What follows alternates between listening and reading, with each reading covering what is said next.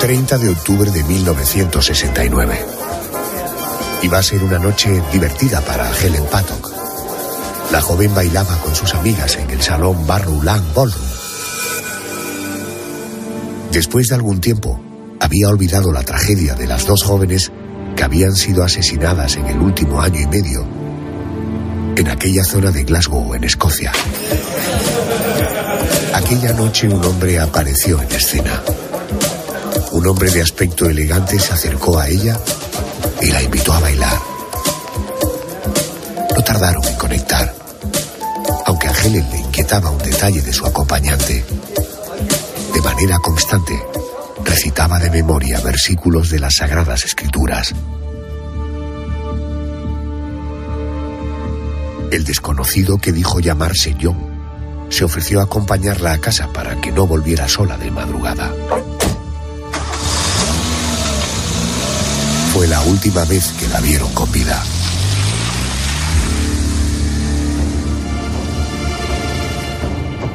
A la mañana siguiente, un hombre descubrió su cadáver estrangulado en la calle Conde de Town. Helen había sido violada y su ropa aparecía manchada con el semen del agresor.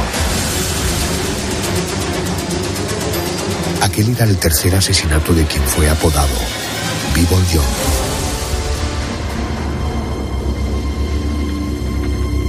De nada sirvieron las investigaciones de la policía ni los interrogatorios, ni las detenciones preventivas, ni las recompensas prometidas. Tampoco tuvo efecto la publicación de un retrato robot. Nunca se supo a ciencia cierta quién era aquel estrangulador que sembró el terror en Glasgow. Pero la sorpresa se apoderó de todos cuatro décadas después, cuando los científicos encontraron un 80% de semejanza entre el semen de Bibble John y el de Peter Tobin, el asesino del ciclo menstrual.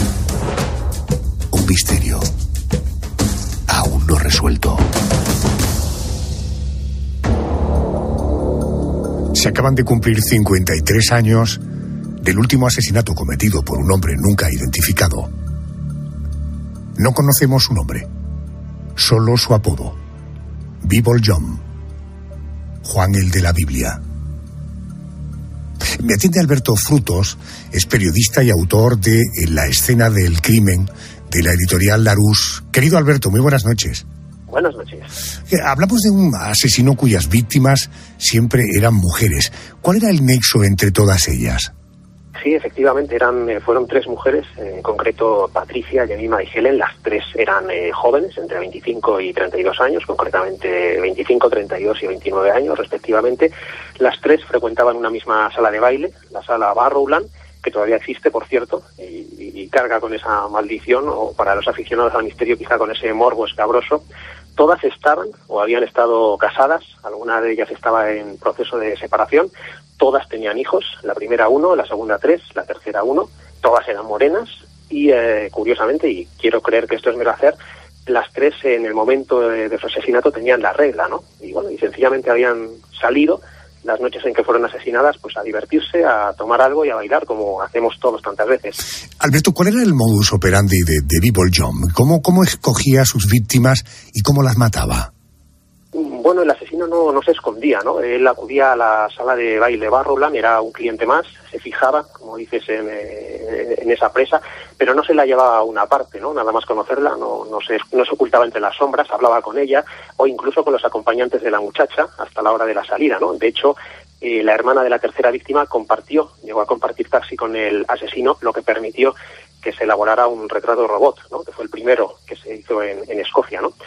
Eh, Bible John eh, citaba constantemente la Biblia, criticaba a las mujeres adúlteras que acudían a esa sala de baile, aseguraba que no probaba el alcohol y bueno, y el modus operandi era tan, tan sencillo como brutal, ¿no? Salía con las mujeres de la sala, se ofrecía a acompañarlas a su casa y en un momento dado las agredía brutalmente, sobre todo en el rostro, también en el cuerpo, eh, las violaba, o lo intentaba, no está claro si en el primer caso lo consiguió, y eh, finalmente las estrangulaba, ¿no? a su primera víctima, llamaba Patricia Docker, eh, lo hizo con un cinturón y a las otras dos, eh, Jemima MacDonald y Helen Putock, con sus propias medias. Y luego eh, dejaba el cadáver abandonado en un rincón oscuro, a veces cerca de garajes, en zonas eh, poco frecuentadas, ¿no? de infraviviendas, ¿no? Todos más o menos nos podemos imaginar cómo era el ambiente de, Glasgow en esos años, y volvía a su hogar, ¿no? probablemente incluso en, medio de transporte público, en autobús, no sin antes robarles el bolso o algún objeto de, valor, ¿no? que en algún caso fue hallado en, las proximidades del lugar del crimen. O sea, es decir, no eran eh, crímenes de, de, un ladrón desatado, sino los de un individuo que odiaba a las mujeres. Eh, el expediente de esta noche nos sitúa en la Escocia de finales de los años 60. Eh, ¿Qué repercusión tuvieron sus crímenes en Glasgow? ¿De qué manera alteraron la vida de la ciudad? Pues la, alteraron enormemente, ¿no? Eh, primero porque, bueno, a la, policía es cierto que le costó mucho relacionar los dos primeros crímenes, a pesar de que tenían unos nexos más que evidentes, pero ya con el tercero, digamos que la venda se les cayó de los ojos y se impuso ese vínculo, ¿no? Eh, se sabía, evidentemente, que un asesino en serie andaba suelto en la ciudad y se consideró, a raíz, a partir del tercer crimen, eh, que lo mejor era darle publicidad, ¿no? Entonces, gracias a la descripción de la hermana de Helen, la tercera víctima, se realiza un retrato robot del asesino, se sabe que es un hombre pelirrojo, entre 25 y 30 años, con una altura aproximada de un metro ochenta, un poquito menos, unos 78 dice la, descripción, y los dientes incisivos, eh, digamos que superpuestos, ¿no? Montados, ¿no? Uno, con otro, ¿no? Eh, lógicamente había muchos hombres, eh, quitando el cabello, que al fin y al cabo se lo podía haber tenido para, para, la, para los crímenes, que podían encajar con esa descripción, y entonces en la ciudad se desata una psicosis colectiva a la caza del asesino, ¿no? Nadie, ninguna mujer se sentía segura entonces. Al asesino del, del, que estamos hablando esta noche no nos podemos referir por su nombre porque nunca fue descubierto, por eso le conocemos por su apodo, Bible John, Juan el de la Biblia. ¿Se sabe por qué eh, esto se sabe, digo, lo de el, apodo, porque él constantemente estaba pronunciando pasajes de la Biblia. ¿Alguna vez la policía tuvo un sospechoso más o menos claro? Ha habido, ha habido unos cuantos, ¿no? De hecho, he mencionado antes el tema de los dientes porque precisamente uno de los primeros sospechosos eh, fue puesto en libertad por ese detalle, ¿no? Porque no tenía los, los incisivos superpuestos, ¿no? Quizá fue puesto en libertad un poco alegremente, ¿no? Se consideró entonces. Luego se dio un chivatazo anónimo que condujo a, una, a la pista de un ciudadano eh, natural de Glasgow que ya a la sazón estaba viviendo en los Países Bajos, pero también esa línea de investigación quedó descartada, era como un laberinto sin salida.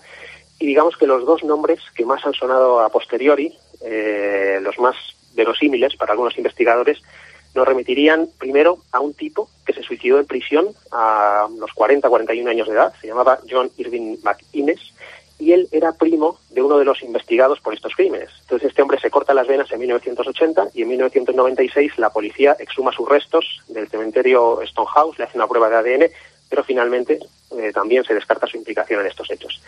Y por último tenemos a un eh, serial killer reciente, se llama eh, Peter Tobin, era un hombre mm, también muy rigorista en sus nociones religiosas y eh, autor como mínimo de tres muertes. ¿no? Entonces lo detienen en 2006 por el asesinato de una joven estudiante polaca. Se revisa su historial criminal y la verdad es que es para echarse a temblar. ¿no? Eh, aparecen restos humanos de otras mujeres eh, en casas en las que Tobin había vivido y las autoridades pues se llevan las manos a la cabeza, ¿no? Era un asesino en serie con todas las letras. Y durante un tiempo se ha considerado que ese podía ser nuestro hombre, ¿no? Pero finalmente, tras una meticulosa investigación, se descarta que Tobin eh, se hallara en el momento de, alguno de los crímenes de Glasgow, ¿no? Por lo que el misterio eh, a día de hoy sigue abierto. Entiendo. Querido Alberto Frutos, gracias por atenderme. Buenas noches. Muchas gracias a vosotros. Decíamos que para tratar de identificar a este asesino en serie, la policía escocesa puso en práctica una estrategia hasta que, en aquel momento, nunca habían recurrido a ella. Compartieron información confidencial a través de los medios de comunicación para intentar llegar hasta él, hasta el asesino, naturalmente intentando eh, obtener colaboración ciudadana. Además de dar a conocer detalles de la investigación, se difundió por primera vez un retrato robot del sospechoso. Me va a atender el inspector jefe de la Policía Nacional, José Carlos Beltrán, es jefe de la sección de antropología forense de la Policía Científica. Inspector Beltrán, muy buenas noches y bienvenido a la cadena COPE. Buenas noches y muchas gracias por vuestra invitación. Eh, José Carlos, situemos, eh, eh, vamos a situarnos a finales de la década de los 60. ¿Cómo se hacían entonces los retratos robot? Bueno, realmente eh, es un proceso eh, largo en la historia, no solamente el tema del retrato robot surge eh, en, esa, en esa década de, 1960, ya se estaba realizando mucho antes, pero de una forma directa, lo que llaman el, retrato artístico, ¿no? en finales del siglo XIX y durante todo el, inicio del, siglo XX. Lo que pasa que va evolucionando y, y las técnicas, la tecnología es la que se va inmiscuyendo dentro de este este arte manual ¿no? de, del artista para realizar o confeccionar un rostro y a partir de entonces pues se van introduciendo fotografías, eh, composiciones eh, más o menos laboriosas, eh, que incluso se llevan en un maletín para poder desplazarse al lugar donde puedan estar los testigos y entonces empezar a hacer una composición del rostro a través de diferentes, mm, vamos a decir, fotografías o dibujos de los distintos segmentos faciales. Entonces, a partir de ahí construyes eh, un, rostro en base a, la declaración del testigo, de la víctima que ha sufrido ese hecho delictivo. Inspector, ¿y en qué caso se recurre a crear el retrato robot de un sospechoso? Porque imagino que, no se hace para localizar al ladrón de, bolsos del barrio, sino para casos de cierta envergadura, o ando yo equivocado? Bueno, no, realmente eh, un poco un poco equivocado, pero no por eh, la filosofía es eh, siempre facilitar eh, una diligencia de investigación a nivel policial que puede llegar a determinados casos a, tener una trascendencia judicial, ¿no? Pero fundamentalmente es la necesidad por parte de los grupos de investigación de orientar esa investigación de una forma muchísimo más concreta o más definida. A veces la policía tiene que partir casi de cero y lo único que puede disponer en cuanto a datos y eh, de seguimiento es la mera descripción del testigo o de la víctima que ha sufrido ese hecho delictivo y por lo tanto pues eh, eh, esos datos de alguna manera la forma más práctica y efectiva de poder servir de, origen y de, de principio en una investigación que va más allá de la meramente científica es decir desde el punto de vista de los grupos operativos de judicial pues es plasmar ese rostro ese recuerdo que tiene el testimonio de la agresión que ha sufrido. Entiendo. Eh, ¿Cuál es el nivel de eficacia de un retrato robot? ¿En qué medida permiten dar con el delincuente al que se busca?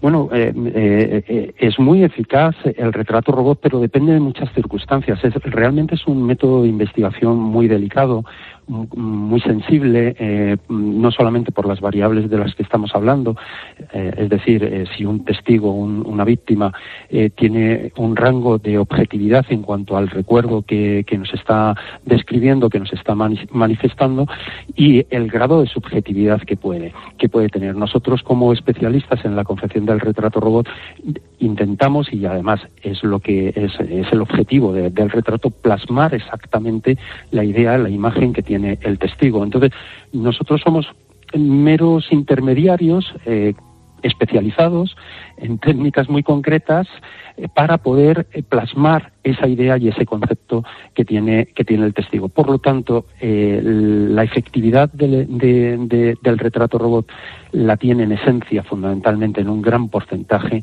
lo tiene el propio testigo. Por eso nosotros hacemos una, un estudio, una valoración de nuestros testigos y de su, de, su testimonio para, para poder evaluar si realmente esa descripción es mm, muy objetiva en qué rasgos son más objetivos que otros, porque siempre hay una carga de subjetividad que es la que merma la efectividad eh, eh, como resultado final de, ese trabajo. Comprendo. Eh, me atiende el jefe de la sección de antropología forense de la Policía Científica, el inspector jefe de la Policía Nacional, José Carlos Beltrán. Para terminar, lo de distribuir un retrato robot no suena muy de película.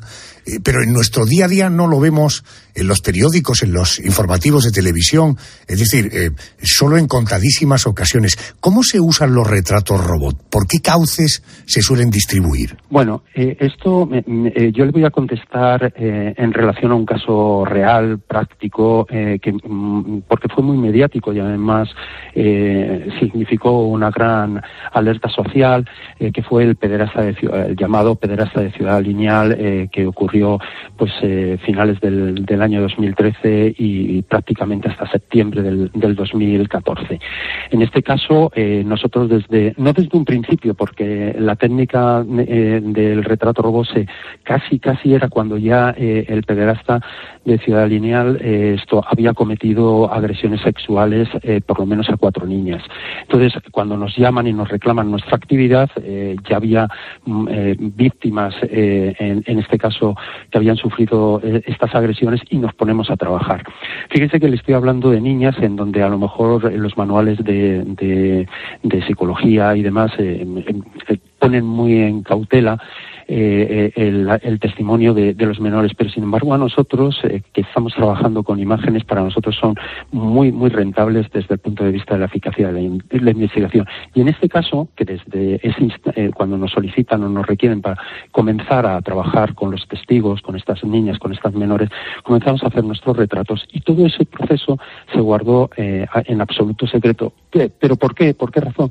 Porque aquí viene implicada, implicado que si se difunde a través de los medios de comunicación también estamos provocando una alerta al, verdadero delincuente y lo que intentamos es pillarle. Y para pillarle, para poder detenerle, lo que tenemos que, lógicamente, es ser muy cautos, eh, ser muy comedidos en la información que tenemos que divulgar. Entonces, dependiendo del caso, dependiendo de las situaciones, esos, esos retratos robos se pueden difundir o no difundir la no difusión en este, eh, en este caso que les comento fue vital fue vital para que para no alarmar, para no alertar a, este delincuente y poder eh, poder localizarlo como tenía, como estábamos cada vez segmentando muchísimo más el ámbito geográfico de actividad y también a la persona como tal.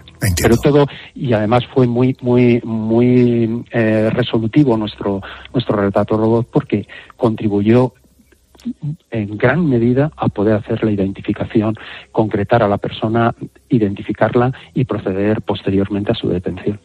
Inspector Beltrán, gracias por atendernos y ayudarnos a conocer un poquito más eh, su trabajo, la actividad de, de su grupo de investigación. Gracias y buenas noches. Muy agradecido a ustedes. Gracias.